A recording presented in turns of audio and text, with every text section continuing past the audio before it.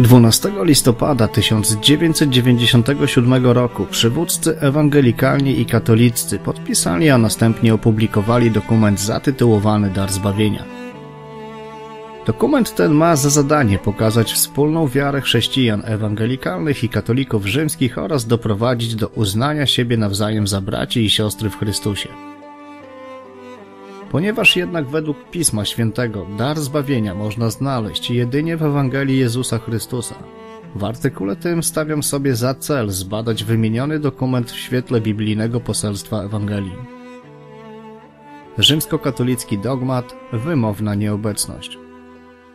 Dar Zbawienia opublikowano 8 grudnia 1997 roku na łamach Christianity Today uzupełniając to artykułem Timotego George'a, w którym napisał on Odżegnujemy się od ekumenicznej euforii, która zakłada, iż drogą do pokoju w Kościele jest pomniejszanie roli nauki i teologii. Jesteśmy zdecydowani na ekumenizm oparty na przekonaniach, a nie na ekumenizm oparty na dostosowywaniu się. Rzymskokatoliccy sygnatariusze dokumentu stwierdzają otwarcie, iż są katolikami z pełną świadomością, wiernymi nauce Kościoła katolickiego. Ponieważ zaś nauka o usprawiedliwieniu ma zasadniczą wagę w biblijnym rozumieniu natury daru zbawienia, należałoby oczekiwać, iż w dokumencie takim znajdzie się jakieś oficjalne orzeczenie nauki katolickiej na temat usprawiedliwienia. Nauki takiej się nie przytacza. Konkluzją dokumentu okazuje się jednak w końcu katolicka doktryna usprawiedliwienia udzielonego. Chrześcijanie ewangelikalni dołączają do Rzymu. Dokument głosi: Usprawiedliwienie ma znaczenie centralne w biblijnej relacji o zbawieniu, a jego sens był przedmiotem wielu sporów pomiędzy protestantami a katolikami. Po czym wymienia się obszary rzekomej zgodności poglądów. Trzeba jednak pamiętać, że chrześcijanie ewangelikalni na przestrzeni wieków zawsze utrzymywali, iż usprawiedliwienie tylko z wiary to jedyny sposób, w który grzeszni ludzie mogą stać się sprawiedliwymi przed obliczem świętego Boga. Samo usprawiedliwienie w sensie biblijnym jest sądowym wyrokiem wygłoszonym przez samego Boga, w którym stwierdza On, że jedynie w Chrystusie może być człowiek doskonale sprawiedliwy przed obliczem tego, który jest istotą moralnie doskonałą i świętym sędzią nad wszystkimi ludźmi. Ten wyrok zapada nie na podstawie czegokolwiek, co znajduje się w samym człowieku, lecz wyłącznie na podstawie i na mocy sprawiedliwego życia i ofiarnej śmierci Jezusa Chrystusa, który żył bez grzechu i zapłacił na krzyżu karę za grzechy. Z historycznego punktu widzenia chrześcijanie ewangelikalni zawsze zgadzali się z apostołem Pawłem, iż gdy kto nie spełnia uczynków, ale wierzy w tego, który usprawiedliwia bezbożnego, wiarą jego poczytuje mu się za sprawiedliwość. Rzymian 4:5 Biblia naucza o przejawie sprawiedliwości Bożej, a nie ludzkiej. Teraz niezależnie od zakonu objawiona została sprawiedliwość Boża, o której świadczą zakon i prorocy. Rzymian 3:21. Ewangelia, dobra nowina, jest Bożą deklaracją, iż Jego sprawiedliwość znalazła się na wierzących. Została im poczytana, zaliczona. I to sprawiedliwość Boża przez wiarę w Jezusa Chrystusa dla wszystkich wierzących. Rzymian 3:22. Tylko sam Pan Jezus Chrystus został ogłoszony i w rzeczywistości jest sprawiedliwością Bożą. Człowiekowi wierzącemu Jego sprawiedliwość zostaje tylko poczytana. Takie było na przestrzeni dziejów stanowisko chrześcijan ewangelikalnych.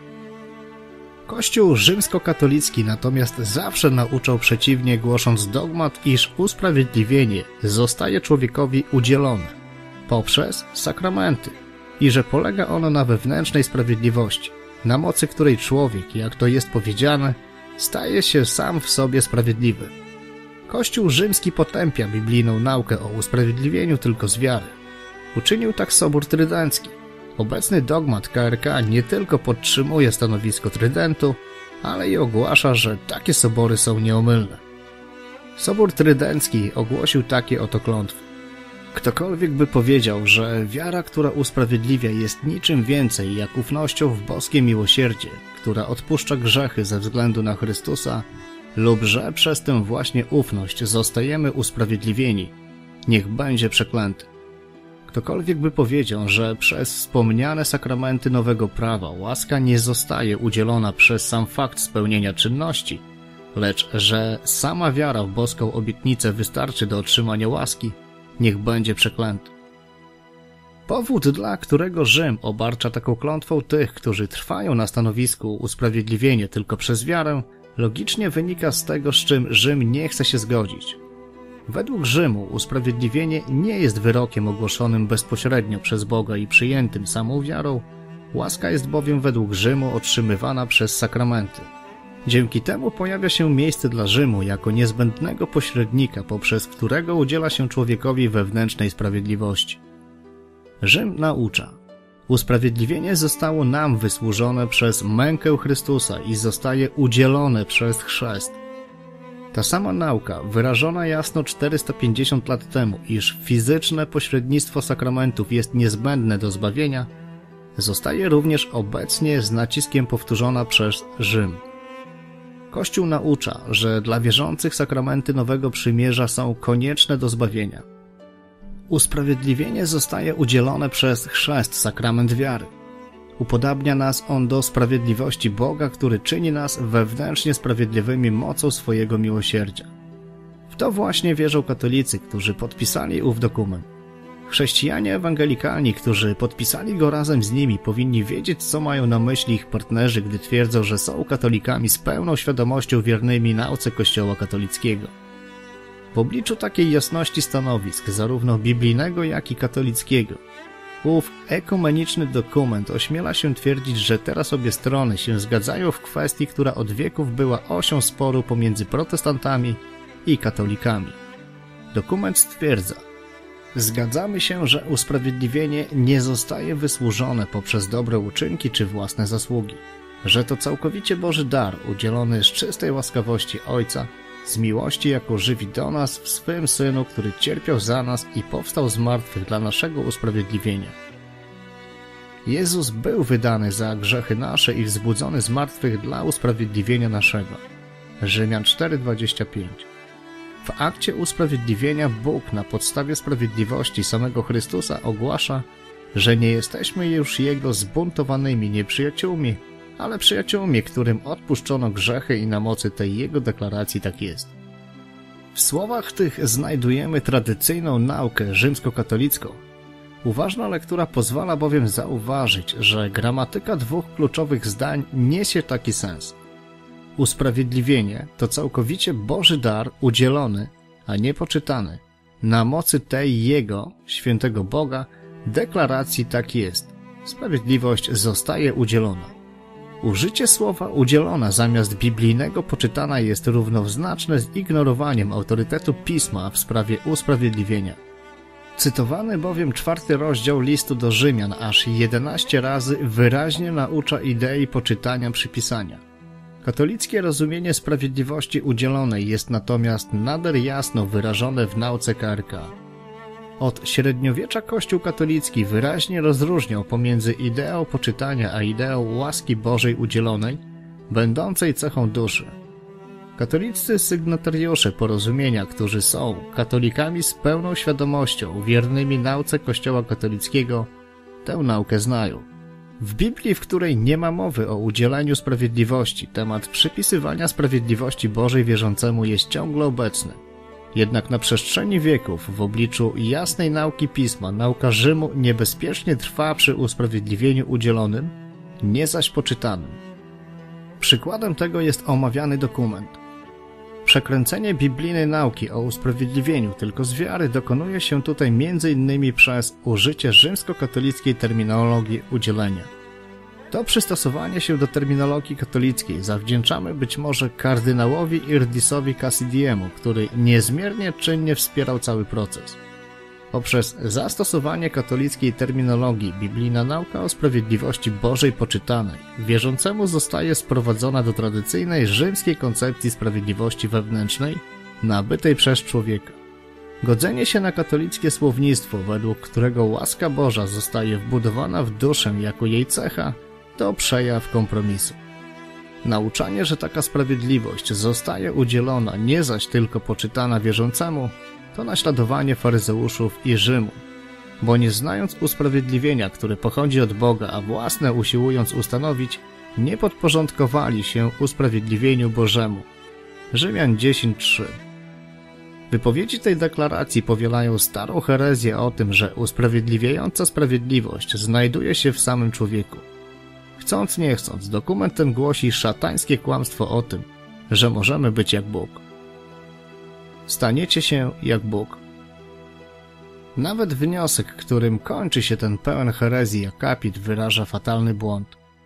Przedmiotem bowiem tych słów jest usprawiedliwienie udzielone. W ostatniej linijce czytamy zatem logicznie, że na mocy tej Jego świętego Boga deklaracji tak jest, sprawiedliwość zostaje udzielona. Wniosek ten wyrażony z typowo katolicką kategorycznością. Rzym przemówił, klamka zapadła, powinien zabrzmieć fałszywie w uszach wyczulonych na inną Ewangelię. Z podobną subtelnością Rzym wyrażał się zawsze od czasów Trydentu po dziś dzień. Teraz dołączają do niego protestanci. Kłamstwo udokumentowane. Artykuł wstępny, owszem, odniósł się do klątw sformułowanych w XVI wieku. Padają nowe pytania o status wzajemnych klątw XVI wieku, w tym również dotyczącej nauki o usprawiedliwieniu, pisze Timothy George. Uwaga ta dowodzi, iż nie rozumie on, że tego typu pytań nie może sobie zadawać katolik.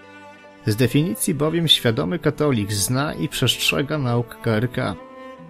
Wykształcony chrześcijanin ewangelikalny powinien również znać błędy w naukach Rzymu. Sygnatariusze tego dokumentu, chcąc nie chcąc, dali publiczny dowód zaakceptowania kłamstwa dotyczącego Ewangelii. Dokument, który podpisali, podporządkowuje się rzymskokatolickiej nauce o sprawiedliwości udzielonej. Jego sygnatariusze odwrócili się więc od biblijnej prawdy o przypisaniu wierzącemu sprawiedliwości Chrystusa i zaakceptowali fałszywą Ewangelię. Brak prawdziwego porozumienia co do Ewangelii. Pod koniec dokumentu znajdujemy zdumiewające stwierdzenie. Choć cieszymy się z odkrytej właśnie jedności i ufni jesteśmy co do przyjętych przez nas fundamentalnych prawd o darze zbawienia, przyznajemy, że istnieją rzecz jasna wzajemne powiązane kwestie wymagające dalszego pilnego badania. Do kwestii takich należą te znaczenie odrodzenia przez chrzest, Eucharystia i łaska sakramentalna – Historyczne użycie języka o usprawiedliwieniu związane ze sprawiedliwością poczytaną i przemieniającą, normatywny status usprawiedliwienia w odniesieniu do całej doktryny chrześcijańskiej, założenie, że choć usprawiedliwienie jest tylko z wiary, to wiara, która przyjmuje zbawienie, nigdy nie jest osamotniona. Odmienne rozumienie zasług, nagrody, czyśćca i odpustów. Kult maryjny i pomoc świętych w życiu zbawienia oraz możliwość zbawienia dla tych, którzy nie zostali zewangelizowani. W tych dwóch długich zdaniach tkwią dwa fałsze. Po pierwsze, rzekomo fundamentalne prawdy o darze zbawienia to rzymskokatolicka idea sprawiedliwości wewnętrznej, nie zaś wieczna sprawiedliwość Pana przypisana wierzącemu. Po drugie, to, co zostaje podane jako kwestie drugorzędne, jest de facto istotą różnic pomiędzy protestantami i katolikami, będącą od wieków przedmiotem sporów w sprawie usprawiedliwienia grzeszników. Większość doktryn wymienionych w tym dokumencie jako rzecz jasna wzajemnie powiązane kwestie zaprzecza biblijnej nauce o usprawiedliwieniu. Wieczna sprawiedliwość wierzącego. Chociaż wymieniono tu zarówno sprawiedliwość poczytaną, jak też przemieniającą, nie wskazuje się na ich wzajemne przeciwieństwo. Jednym szybkim ruchem wrzuca się je obie do jednego worka, jak kolejny nieistotny detal, który trzeba uprzątnąć. Z dokumentu można wywnioskować, że to, co w Biblii stanowi zasadniczą różnicę pomiędzy sprawiedliwością Chrystusową z wiary, a sprawiedliwością własną, jest tylko kwestią słownictwa. Wewnętrzna sprawiedliwość, na którą naciska Rzym jako na fundament pokoju z Bogiem, jest tym, co Biblia potępia. Dokument ów zatem sprowadza do poziomu rzecz jasna wzajemnie powiązanych kwestii sprawę historycznego użycia języka o usprawiedliwieniu związanego ze sprawiedliwością poczytaną i przemieniającą. Próba zaciemnienia albo zlekceważenia biblijnego rozróżnienia pomiędzy tymi dwiema jest bardzo poważną sprawą. Biblijna Ewangelia utrzymuje, że przemienione życie jest wynikiem, a nie przyczyną usprawiedliwienia wierzącego w oczach świętego Boga. Tej to właśnie kwestii Rzym wynosi na piedestał człowieka samego w sobie jako zadowalającego w oczach Boga, dając tym samym dowód swego pomieszania pojęć usprawiedliwienia i uświęcenia. Jak już zauważyliśmy, Kościół rzymski naucza, że usprawiedliwienie zostaje udzielone przez chrzest, sakrament wiary. Upodabnia nas on do sprawiedliwości Boga, który czyni nas wewnętrznie sprawiedliwymi mocą swojego miłosierdzia. Według Kościoła rzymskokatolickiego tę wewnętrzną sprawiedliwość można osiągnąć za pomocą jego fizycznych sakramentów. Najświętsza Trójca daje ochrzczonemu łaskę uświęcającą, łaskę usprawiedliwienia. Według Kościoła katolickiego łaska usprawiedliwienia jest zatem wyraźnie utożsamiona z łaską uświęcającą. To właśnie jej, łaski uświęcającej, nabycie czyni człowieka miłym Bogu, nie zaś jak naucza Pismo, przypisana mu sprawiedliwość Chrystusa. Rzym stwierdza zatem, łaska uświęcająca czyni nas miłymi Bogu. Taka nabyta sprawiedliwość jako podstawa usprawiedliwienia jest zaprzeczeniem konsekwentnego nauczania Biblii, głoszącego formalną, prawną sprawiedliwość wierzącego w Chrystusie. Umniejszanie wagi tej nauki zamiast podkreślania jej roli w usprawiedliwieniu sprawia, że katolicyzm kluczy w sprawie, która jest w piśmie określona nader jasno. Moc Boża ku zbawieniu, której mówi Paweł, to Ewangelia z listu do Rzymian 1,16. W wersecie 17 otrzymujemy dodatkową wskazówkę, iż w niej objawia się sprawiedliwość Boża. Wierny swej obietnicy, sam święty Bóg zadbał o dokonanie trwałego, dokończonego dzieła usprawiedliwienia za grzech. W tym objawia się miłość Boża ukazana w Jego Synu Jezusie Chrystusie, że dar sprawiedliwości, który kosztował Jezusa Chrystusa życie, jest dziełem dokonanym i dawanym darmo.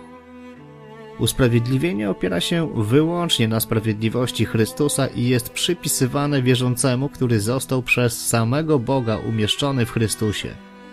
Tego usprawiedliwienia nie sposób pomniejszyć, nie sposób go też powiększyć. Wierzący zostaje usprawiedliwiony przez poczytanie mu wiecznej sprawiedliwości Chrystusa teraz i na wieki. Może zatem śmiało powtórzyć za apostołem Pawłem. Teraz jednak dla tych, którzy są w Chrystusie, nie ma już potępienia, którzy postępują nie według ciała, ale według ducha. Rzymian 8:1-4. Podstawowy i ostateczny cel Boży, realizujący się w sprawiedliwości poczytanej, został określony w liście do Rzymian 3:26 by ujawnić w obecnym czasie Jego sprawiedliwość i pokazać, że On sam jest sprawiedliwy i usprawiedliwia każdego, który wierzy w Jezusa. Wynika to z natury Bożej. Tylko Bóg usprawiedliwia tych, którzy wierzą, gdyż tylko On jest święty. Pod prawem uznanie przez Boga Ojca jakiegokolwiek grzesznika za sprawiedliwego wymagałoby, aby człowiek ów wiódł życie doskonałe według prawa Bożego. Jedynie Bóg człowiek Chrystus Jezus mógł to uczynić i uczynił, jest to dokonane. Biblia wielokrotnie powtarza, że sprawiedliwość Chrystusa jest przez Boga poczytywana wierzącemu darmo, tylko na mocy Bożej łaski. Apostoł Paweł jasno wyraża różnicę. Wszystko uznaję za stratę ze względu na najwyższą wartość poznania Chrystusa Jezusa, Pana mojego. Dla Niego wyzułem się ze wszystkiego i uznaję to za śmieci, bylebym pozyskał Chrystusa i znalazł się w Nim, nie mając mojej sprawiedliwości, pochodzącej z prawa, lecz Bożą sprawiedliwość otrzymaną przez wiarę w Chrystusa, sprawiedliwość pochodzącą od Boga opartą na wierze. Filipian 3, 8, 9 Nie odrzucam łaski Bożej, bo jeśli przez zakon jest sprawiedliwość, wtedy Chrystus darem nie umarł. Galacjan 2:21. We wstępie do katechizmu z 1994 roku Kościół Rzymski podaje jednak swą oficjalną naukę.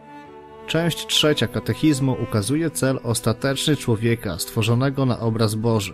Szczęście, domyślnie w niebie oraz drogi wiodące do Niego, prawe i wolne działanie z pomocą prawa i łaski Bożej.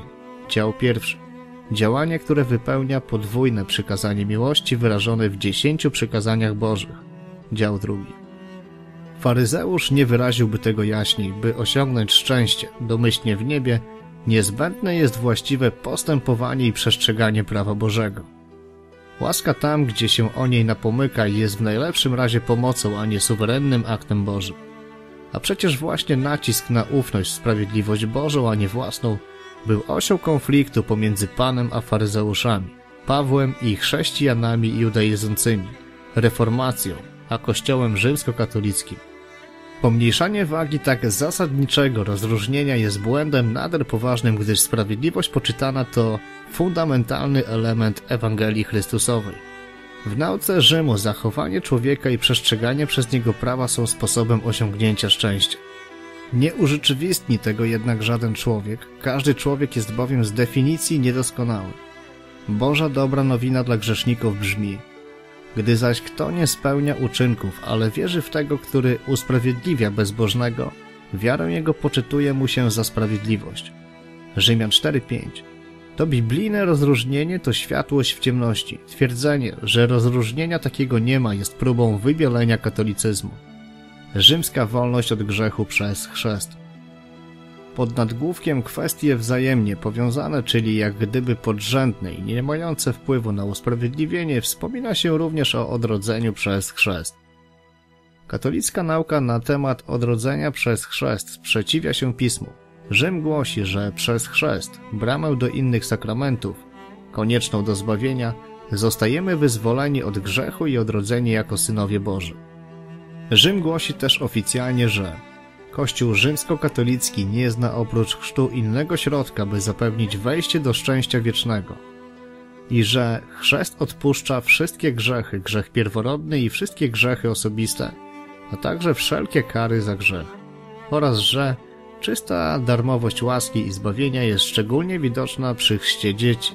Gdyby Kościół i rodzice nie dopuszczali dziecka do chrztu zaraz po urodzeniu, pozbawialiby je bezcennej łaski stania się dzieckiem Bożym.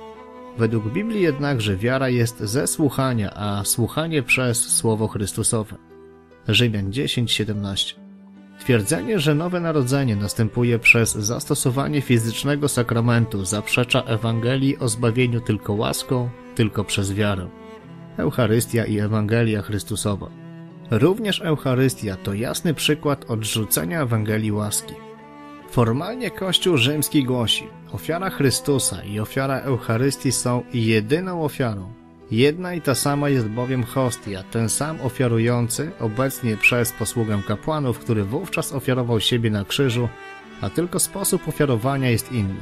W tej boskiej ofierze dokonującej się we mszy świętej jest obecny i w sposób bezkrwawy ofiarowany ten sam Chrystus, który na ołtarzu krzyża ofiarował samego siebie w sposób krwawy. Takie twierdzenie samo w sobie przeczy całkowitej wystarczalności złożonej raz na zawsze ofiary Chrystusa. Ten Syn, który jest odblaskiem Jego chwały i odbiciem Jego istoty, podtrzymuje wszystko słowem swej potęgi, a dokonawszy oczyszczenia z grzechów, zasiadł po prawicy majestatu na wysokościach.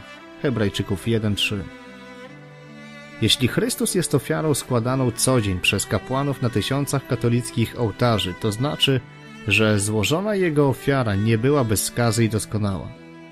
Jej nieustanne powtarzanie z definicji bowiem czyni ją niepełną. Ufność, którą wedle swej deklaracji sygnatariusze tego dokumentu żywią fundamentalne prawdy o darze zbawienia, nie znajduje żadnego uzasadnienia w świetle rzymskokatolickiego pojmowania Chrystusa ofiary, która wymaga codziennego składania na ołtarzu. Do sygnatariuszy tego dokumentu odnoszą się takie słowa Pana – Prawdę Bożą przemienili oni w kłamstwo i stworzeniu oddawali cześć zamiast Twórcy, który jest błogosławiony na wieki. Amen. Rzymian 1:25 Umniejszanie roli Ducha Świętego i Ewangelii Kult maryjny i pomoc świętych w dążeniu do zbawienia to kolejna kluczowa sprawa w kwestii Ewangelii.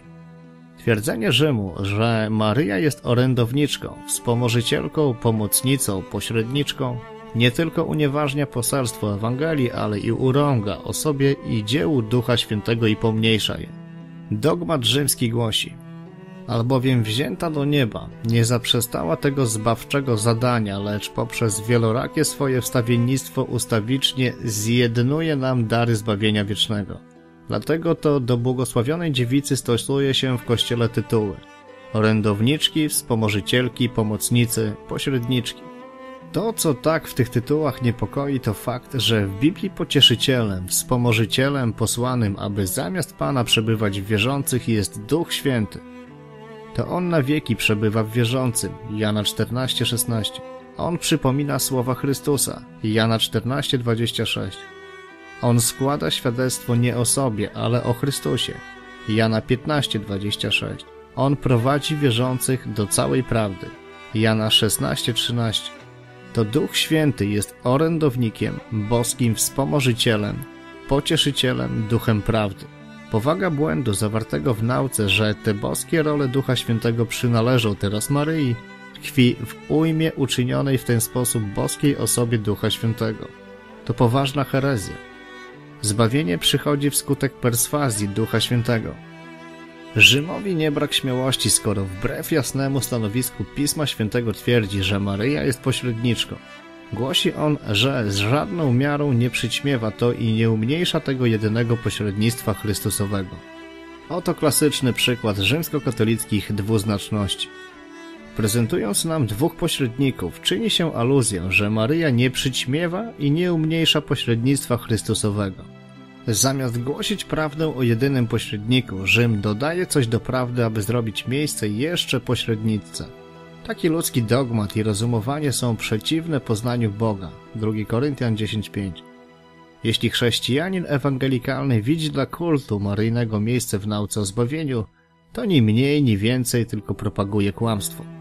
Jeśli chrześcijanin ewangelikalny wygłaszając formalne oświadczenia nie zna oficjalnej nauki Rzymu, to jest winien niewybaczalnej ignorancji.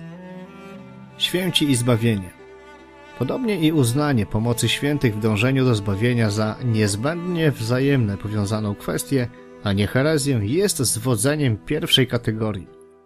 Nauczanie Rzymu na ten temat jest jasne, jednoznaczne i ewidentnie okultystyczne.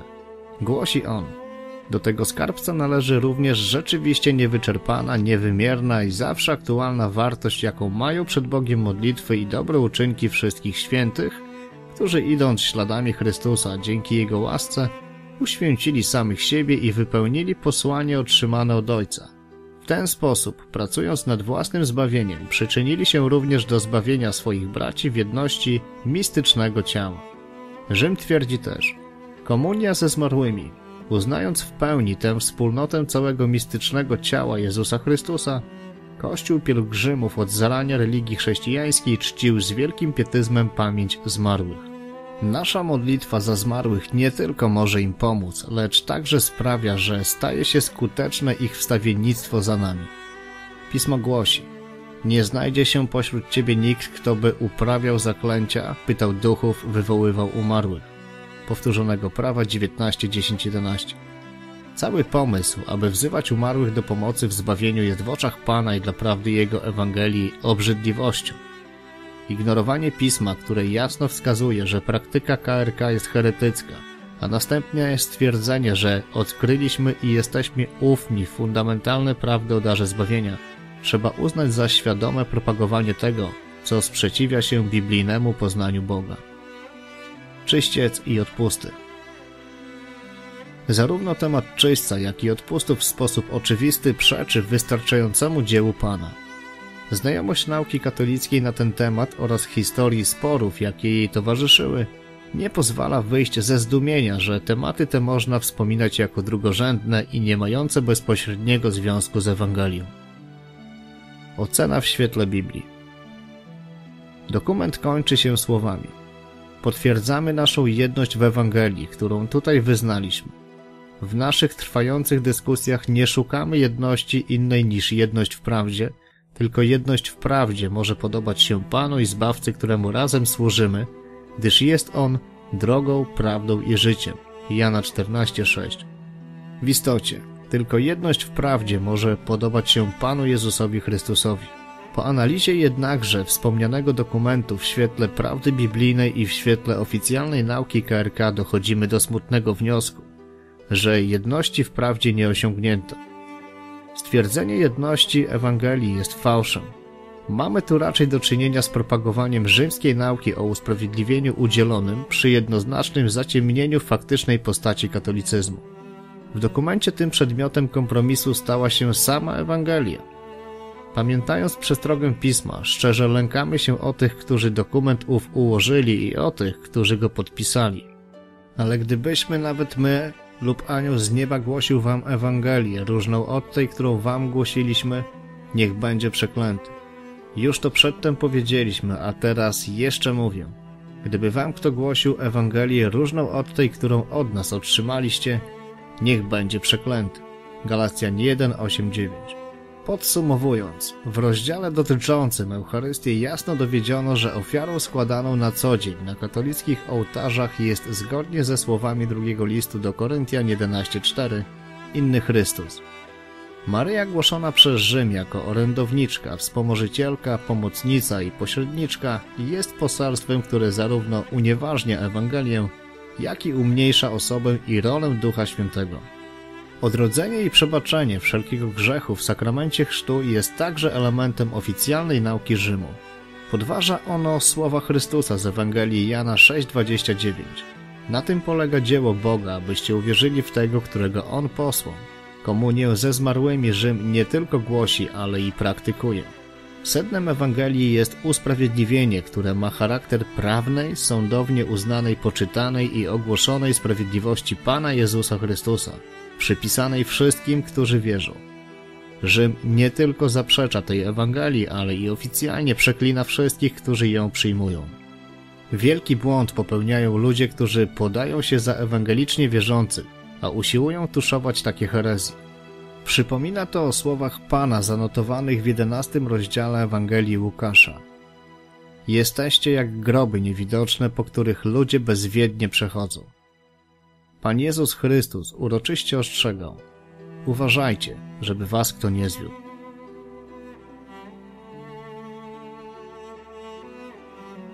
Łaska Pana Jezusa niech będzie z wszystkimi. Amen. Pozdrawiam Cię, kimkolwiek jesteś. Maczuga 71